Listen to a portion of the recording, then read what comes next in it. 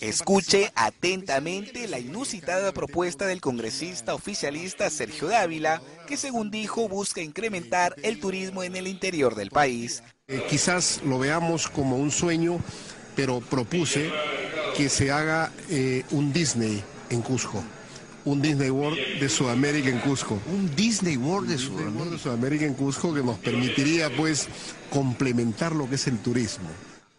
La iniciativa del parlamentario tratando de emular a la construcción de Disney en París tuvo una respuesta bastante crítica por parte del congresista Mauricio Mulder, quien dejó en total evidencia su molestia ante esta propuesta.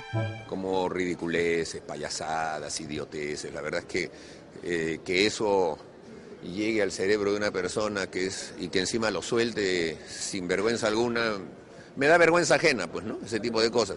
Francamente, no, tenía idea de que alguien pudiera pensar una idiotez como esa, ¿no?